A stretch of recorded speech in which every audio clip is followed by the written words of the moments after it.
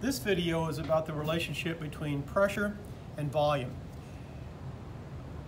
I'm going to be changing the volume of the air inside this syringe, but before I do, I'm going to put a cap on the syringe so that air cannot enter or leave.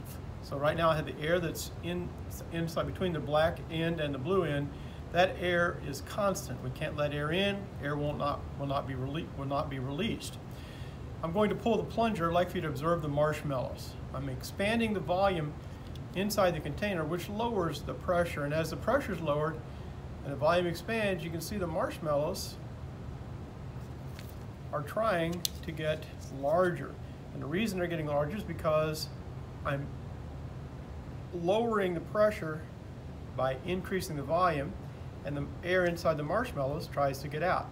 You see me shaking a little bit because I'm pulling pretty hard uh, to pull that plunger out. Now I'm going to let the plunger back in.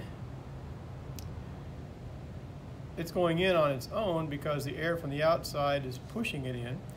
And you see the, the marshmallows are getting smaller again.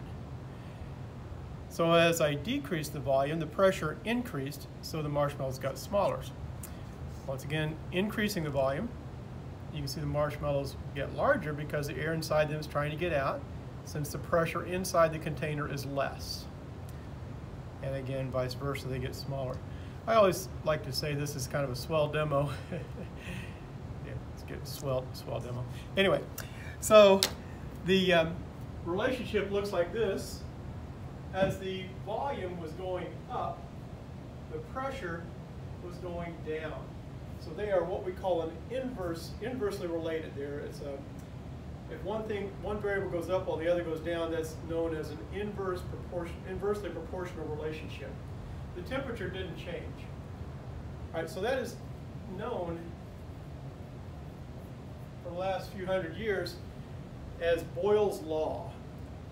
Pressure and volume are inversely proportional.